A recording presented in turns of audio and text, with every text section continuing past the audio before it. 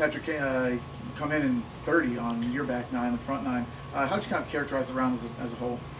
I had great control today, which was wonderful. It obviously starts with the tee shots. Um, I was able to put the ball in the fairway a lot, which makes an enormous difference. Uh, you're able to attack a little bit from the fairway where, versus, you know, this Bermuda rough to these greens. You're constantly on defense. So uh, I hit the ball in the fairway a lot, which gave me some opportunities, and uh, I stayed disciplined on my approach shots, uh, but took advantage when I had opportunities to attack, and uh, it the round, and it added up to a pretty good one. Stats showed today so far that, that you really improved with your driving from round one to round two. Did you feel that way as well? I drove it decently yesterday, um, just a few fairways that I just missed. Um, so, like I said, if you're in the rough, even even a few steps off the fairway, you're you're on defense, um, especially the contours and even some of the firmness of the greens. But like I said, I was just put the ball in the fairway a lot. Um, I'm always going to hit it a decently long ways, and so it gave me some chances to score.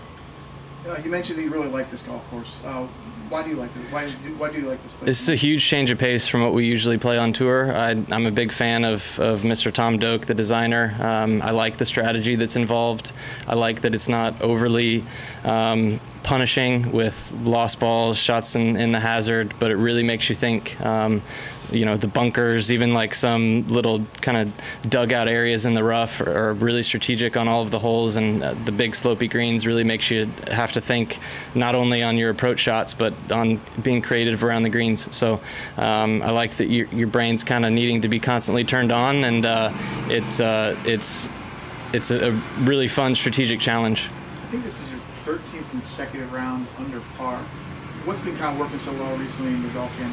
Yeah, I, I, feel like I've got lost in my process to Im- improve. Uh, me and my coach Jeff Smith really had a good meeting after the playoffs and just kind of figured out where we needed to get better, where I'm falling short of sort of the elite players out here, and uh, I feel like we're implementing that plan week after week, and it's uh, it's it's showing up on the course. Where did you feel like you were maybe falling short? Yeah, I, I wasn't behind tour average, but obviously the elite players in the world are incredible tee to green. Um, you know, Rory's been driving it uh, on another planet almost. He's he's uh, obviously the best player in the world off the tee, and that's a huge advantage that, that I feel like I'm capable of getting somewhat close to. And then um, you know you see guys like JT and Collin Morikawa and Jon Rahm the way they the hit hit their approach shots um, and the way that they're able to attack from the fairway. It, it, it's a huge asset in their game, and I feel like if I can just kind of chip away at getting a little bit closer to those guys the way I put it, um, it I, I should be able to put together a nice year. You were all those guys when you were coming out of college and coming in, and going into college and everything like that. Um, and you've had the opportunities to win over, over your nine-year career.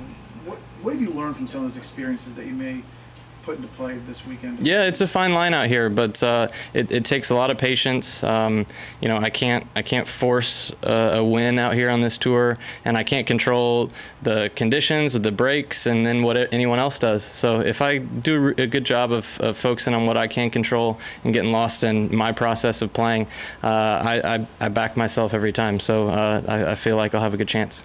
Last one for me what has becoming a father? How, how's it maybe changed you as a golfer, or maybe your how you kind of go through your process and everything?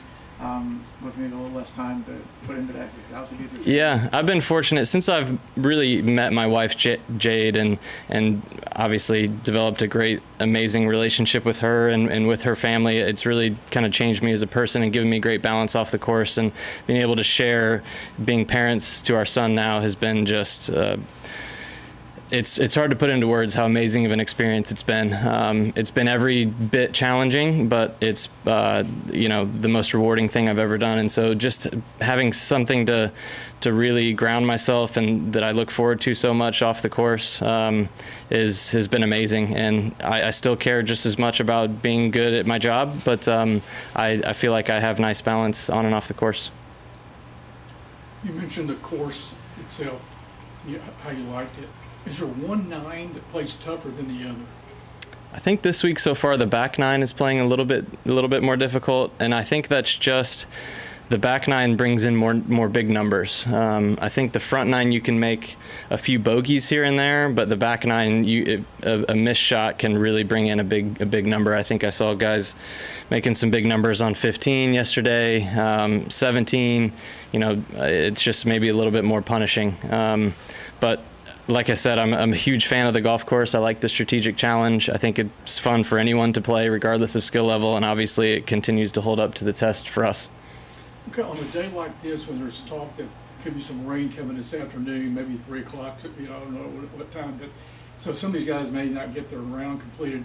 Just talk about kind of a relief it is that you got to go, come out early today. Yeah, I definitely felt like we got the good side of the draw this week, and it's you never know until it's you know all the way finished. But um, I had kind of got the, the the bad side of it the last couple of weeks, and so it's just kind of how it works out here. And I think I'm going to be pretty fortunate to be on the good side of it this week. And you got a little time to, you know, there's no re- delay, there's a while uh, before you tee off again, you got time to work on your game. or Yeah. Relax or whatever you want to do the, you know. Yeah, the we rest of the we had great conditions, and and yeah, having a, a free afternoon after playing a good round is always a nice feeling.